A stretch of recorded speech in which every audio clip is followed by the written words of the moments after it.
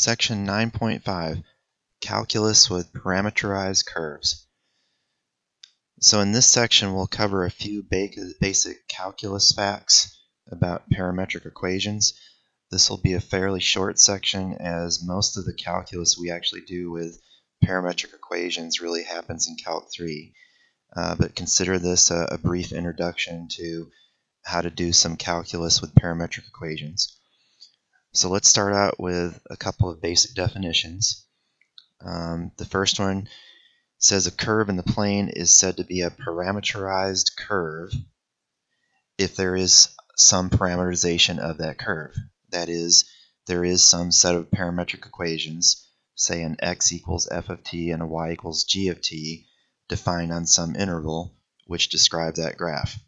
So this pertains to what we talked about in the previous section, if I have a curve and I've described it with a pair of parametric equations, I'll say that that set of parametric equations is a parameterization of that curve.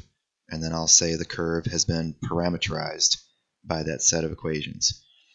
Um, we will say that that parametric curve is differentiable if the parametric component functions, that is the f of t and the g of t, that describe the x and y coordinates are themselves differentiable functions of t.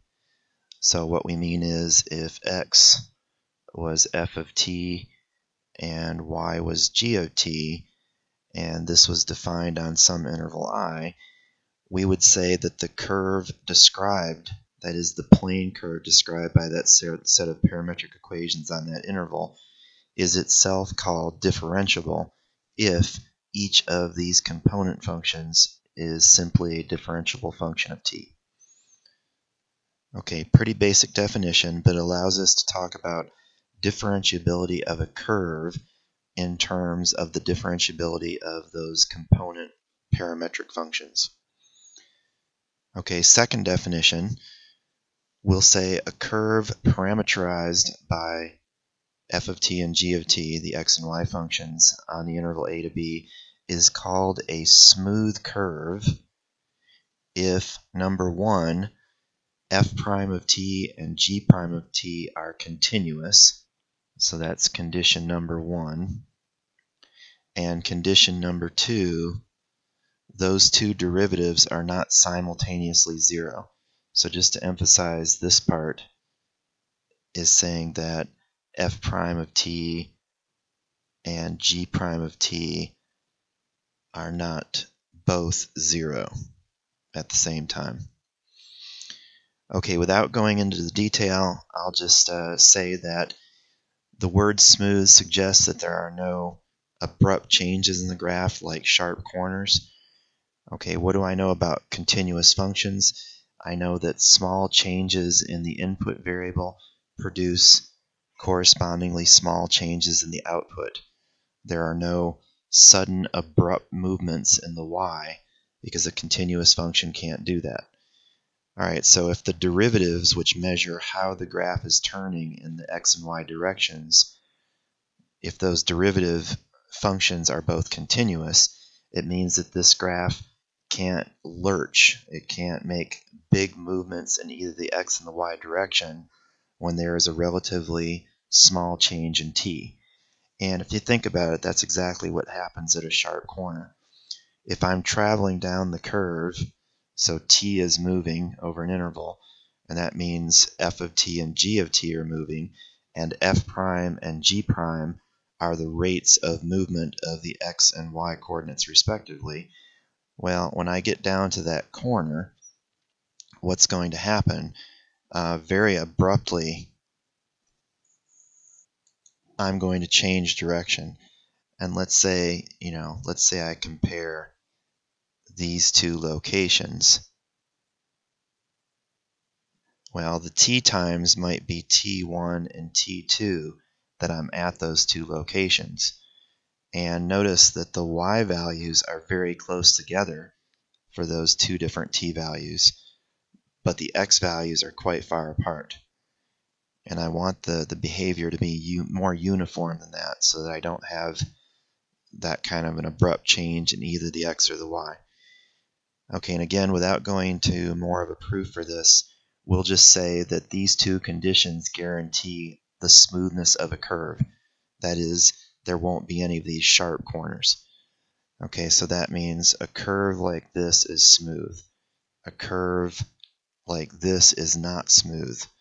And it's exactly what you're thinking about from Calc 1. There's something wrong here at this point. Either at least one of those two derivative functions is not continuous, and in fact, perhaps those functions aren't even differentiable at all at these points.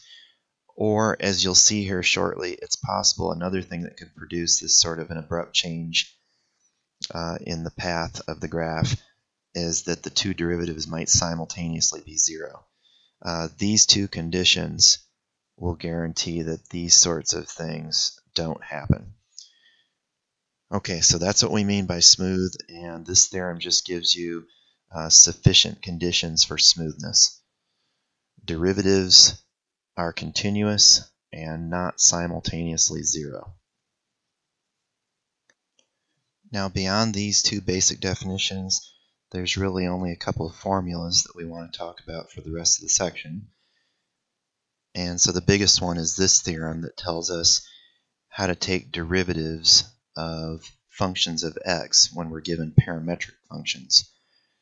So it says, suppose we have x equals f of t, y equals g of t, parametric equations, and suppose dx dt does not equal 0 and that these component functions are differentiable then number one, um, I can find the derivative of y with respect to x by just calculating this quotient of the derivative of y with respect to t divided by the derivative of x with respect to t directly from these two parametric functions. Um, so of course, I know that if we're given a pair of parametric functions uh, that describe a curve, uh, if I'm able to eliminate the parameter and relate y directly to x, let's say y equals h of x, then what number 1 says is I can find the derivative of that function of x, that is derivative of y with respect to x, in terms of, or from the point of view of a rectangular equation, by simply looking at the quotient of the derivatives of these two parametric functions both with respect to t. Okay, the second equation tells me how to take higher order derivatives. So for example, second derivatives, third derivatives, and so on. Uh, just to give you an example, and we'll, we'll do actual examples here in a minute, but when you look at number 2, if n was 2, it would say that if I wanted to find the second derivative of y with respect to x, then what I'd have to do first is look at this guy or find this guy, which in this case I see would just be dy dx. Okay, now by the way, notice, given parametric functions, number one tells me how to find dy dx. It says it's the quotient of these two. Okay, that means once I find that dy dx, and it would be a function of t, then I could take the derivative with respect to t of dy dx, and then I would simply divide by dx dt. And notice that is exactly the same dx dt that I divided by in this formula up here.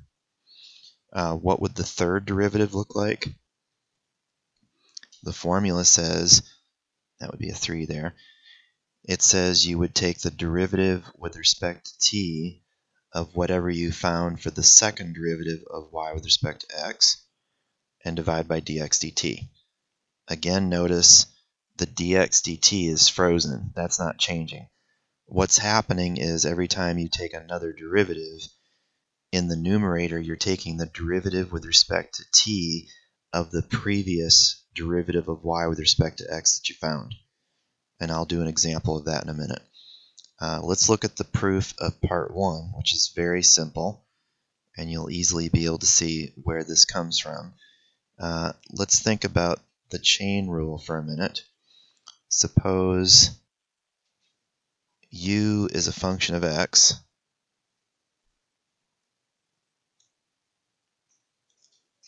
and suppose x is a function of t.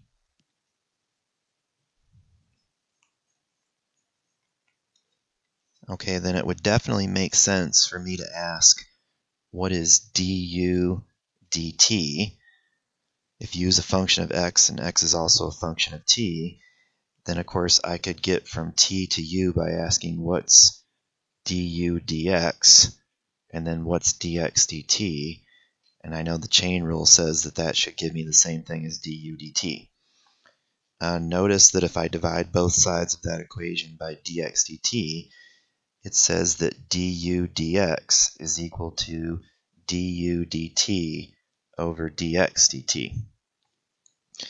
Okay, if I replaced that u by a y, for example, and of course that would fit our scenario in this theorem, y being a function of x and x being a function of t, then it would say dy dx can be found by taking dy dt, where I'm just replacing both of these u's by y's, divided by dx dt. Okay, what if I replace that u by a dy dx? Then the left side would be the derivative with respect to x of dy dx, or let's put it this way, it would be d dy dx divided by dx, or over dx, equals d dy dx dt over dx dt. Okay, that's just the same thing as saying here on the left, second derivative of y with respect to x equals the derivative with respect to t of the first derivative of y with respect to x, that is the previous derivative, divided by dx dt. And that's actually what we claimed here in part 2. And you can see that uh, the recursive relationship here with the n and the n minus 1 is going to fall out if I continue this process in finding the third derivative from the second, the fourth from the third, and so on. Okay, let's look at a quick example of how this works just to make sure we see it. Let's suppose I have parametric equations x equals 1 over t and y equals negative 2 plus ln t. Uh, let's find dy dx directly from the formula. Now, by the way, before we do that, uh, let's just ask, can we eliminate the parameter and construct a rectangular equation that relates y directly to x and then take the derivative directly. Well, that shouldn't be too hard because it's pretty easy to solve that equation right there for t. That one would say t is equal to 1 over x. And then if I substituted that in place of the t in the second equation, I would have y equals negative 2 plus ln of 1 over x.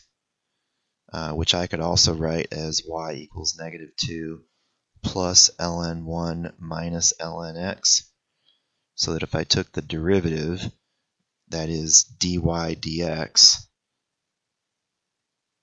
then what I should get is minus 1 over x. Okay, let's try our formula that we just stated on the previous page, which said I should be able to get to that dy dx by taking dy dt divided by dx dt, where the x and the y I'm referring to there are these parametric equations in terms of t. So what's the derivative of y with respect to t? That would be 1 over t. What's the derivative of x with respect to t? Oops. That would be negative 1 over t squared. Getting crazy with my colors here. Okay, and of course if I flip that negative 1 over t squared, it looks like I get negative t. Okay, but of course, what is t? If I come back up here, t is 1 over x. which means my derivative, if I put it back in terms of x, is actually negative 1 over x. Uh, looks like our formula is working, at least in this example. Now, obviously, with functions this simple, it's probably just as quick to eliminate the parameter, get a rectangular equation, and take the derivative in the conventional way. Uh, but be assured it's not always going to be convenient to do it that way. So there are reasons, as we'll see, especially in Calc 3 for this formula. But uh, let's go ahead and finish out the example and see what it would look like if I tried to take the second derivative of y with respect to x. Okay, now the formula says what? I should take the derivative with respect to t of the first derivative that I got, where that first derivative is expressed as a function of t. So just be careful there. I know the first derivative in terms of x is minus 1 over x. But in terms of t, it's minus t. And so right here in this formula, when they say dy dx, they do mean the derivative you got in terms of t, because we're taking a derivative right here with respect to t. Okay, and then what goes in the bottom? Well, that's the nicest part about this formula. It's always the same thing. It's dx dt and it's the same dxt dx, dx dt that you calculated here.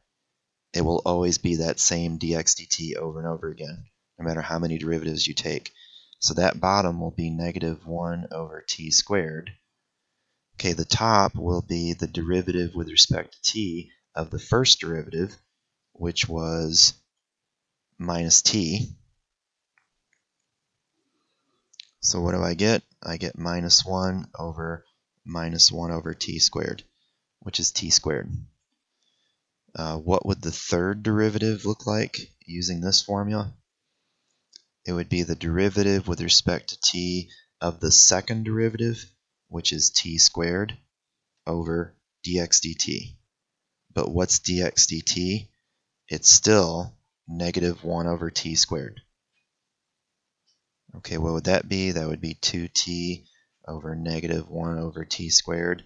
That would be negative 2t cubed. And so on. Okay, that's how we use the formula. Pretty straightforward, I think. Okay, let's look at one last thing, which is arc length. And we're not going to do a lot with this in this class, but as you'll see in the first part of Calc 3, uh, this is a pretty important concept that we're going to come back to and use quite a lot at a certain point uh, in the second chapter that we deal with in that class. So let's suppose we've got a curve. Uh, let's call it uh, y equals h of x. Uh, let's say the curve starts at x equals c and goes to x equals d. So this would be, let's say, c h of c, and this one would be d h of d, just to put some labels on them. Let's say we're also able to describe this curve with parametric equations. Let's say x equals f of t and y equals g of t uh, on the interval, let's say a to b. And of course, let's just pencil in the arrows to suggest that the orientation is that way, which of course means that we're saying that first point, that starting point, this one, can also be thought of as f of a, g of a, and this ending point could be thought of as f of a, f of b, g of b. Okay, one thing is for sure, if I think about the rectangular version for a minute, that is where I have y equals h of x, going from x equals c to x equals d, you should definitely recall from Calc 1 that the arc length of this curve, that is this portion of the curve from that first point to that second point, is the integral from c to d of the square root of 1 plus h prime of x squared dx. And that was the, the big arc length formula that we derived in Calc 1. All right, now let's think about what we've got here. We've got h of x is a rectangular function, but we've assumed here that we've got some parametric functions, f of t and g of t, that also describe this curve. So of course, in our formula, where we have that h prime, I know that's really a conventional rectangular dy dx. Okay, meaning if I ask what is h prime of x, which is really a dy dx, our formula from the first theorem says that that should be dy dt over dx dt. That is where the y and the x are parametric functions, which are the two I have right here. Okay, so that means what? S is equal to integral c to d square root 1 plus h prime, which we're saying now is this guy, squared. Which means what I've really got under there is a nasty dy dt squared over dx dt squared. In fact, let me make my square root a little bit bigger. And then outside of that is still a dx. Okay, if you're good so far, the only thing I've done is replace that h prime by this dy dt over dx dt. All right, notice the dx, this guy right here at the end. Okay, what are we saying? We're saying x is f prime of t. That means dx, I'm sorry, x is f of t. So that means dx is what? It's f prime of t dt. Course, what is f prime of t? That's just dx dt. Okay, no surprise there. We're saying in differential notation, dx is equal to dx dt times dt. Uh, that makes sense. So what I'm going to do is rewrite this dx right here at the end as simply dx dt dt. Okay, notice this dx dt is now a separate factor that I can pull back inside the square root. Okay, notice at this point, this is really just still a dx, which means my variable of integration is definitely an x value, and I'm to interpret that as x goes from c to d. If I pull that dx dt inside that radical, which means when I do it becomes squared, so that I'll have a square root of a dx dt squared times a 1 plus all that nasty dy dt squared over dx dt squared. What's left outside the square root? Well, it's just that dt. That is this one right here. Okay, which means now I've changed this to a t integral. Okay, question. What's the interval, the t interval, over which this curve was traced out with these equations? It was the interval a to b, which means I've done a change of variables now, and that c to d now changes to a to b. Okay, cleaning up, what do I have? I have integral from a to b uh, what happens when I multiply, distribute that dx dt squared through? Well, I'll get a square root of dx dt squared plus dy dt squared dt. And what you're looking at now is a closed compact formula for finding arc length directly from a pair, a given pair of parametric functions if I'm given directly x equals f of t and y equals g of t, then we're saying the arc length would be a to b square root f prime of t squared plus g prime of t squared with respect to t. And of course, the a and the b values would be the starting and ending values of t for whatever interval I used to trace out this portion of the curve.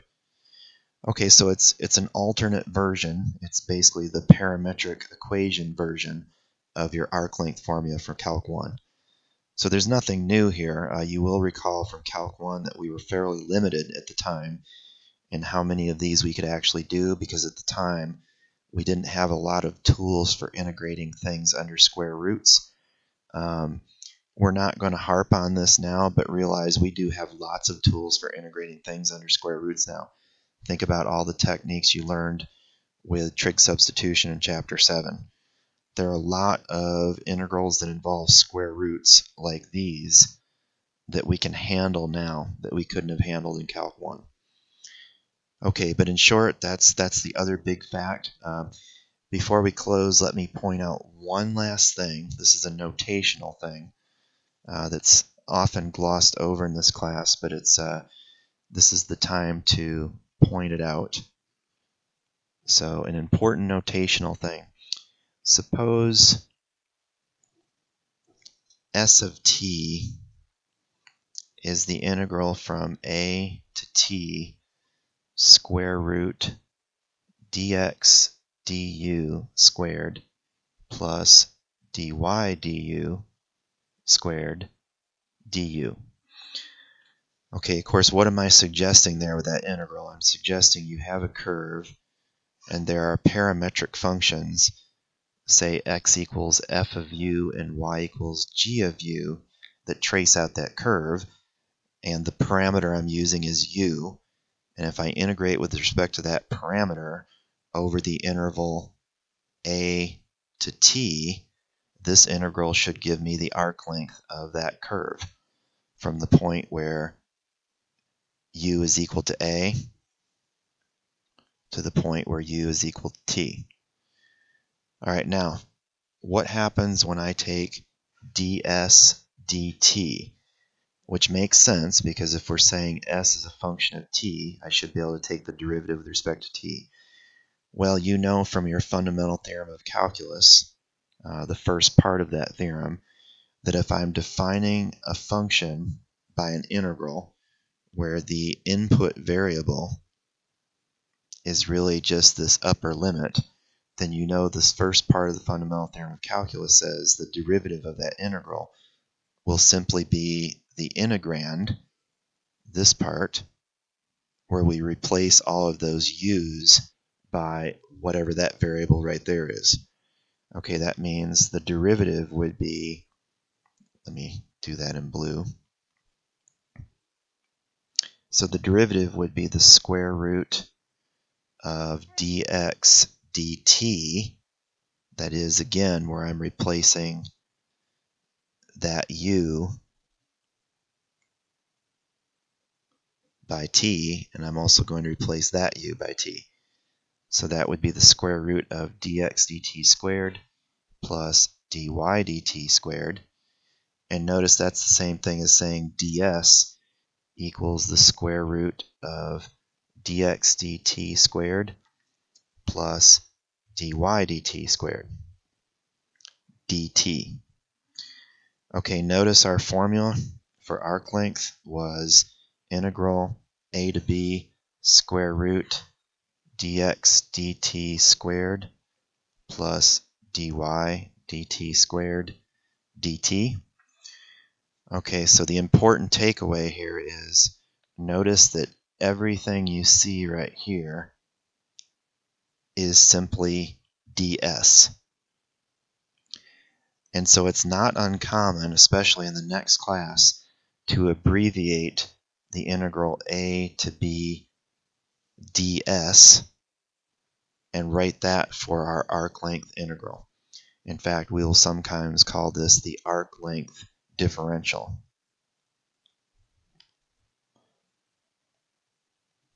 And you can see it's definitely a lot shorter to write.